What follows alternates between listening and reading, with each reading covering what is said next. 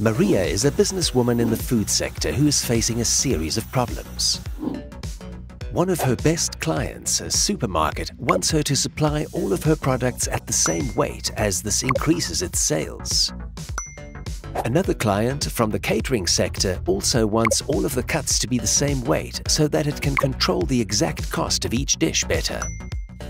Finally, a client who deals in exports wants all of the slices to be the same thickness without taking weight into account.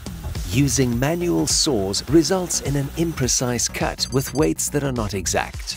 This creates a lot of waste and so the product is not used in the most optimal way. Also, when working with manual saws, industrial accidents are very common and are a major cause for concern.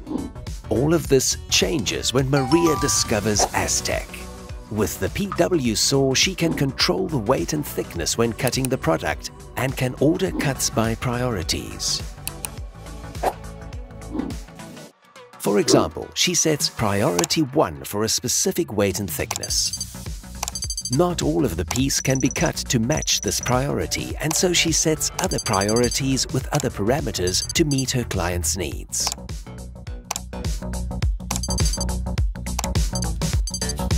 The PW saw prioritizes cutting the product to priority 1.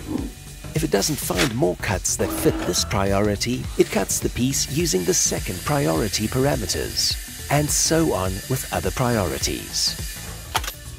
Now Maria does use the whole piece without wasting any of it, easily adapting to the specific needs of each of her clients.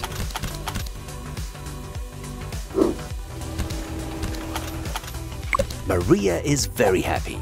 With the PW saw, she can reduce costs and be much more competitive, while guaranteeing the safety of her workers.